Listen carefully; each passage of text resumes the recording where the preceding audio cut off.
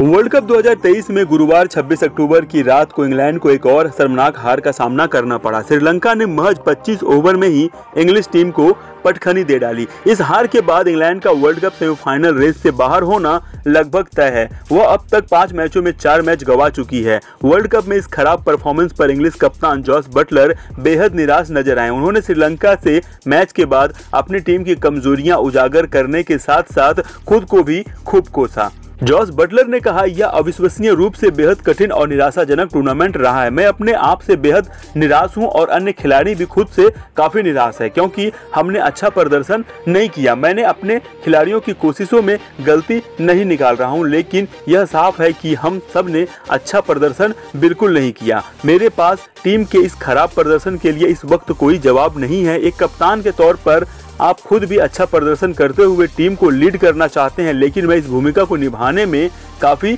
पीछे रह गया हूँ।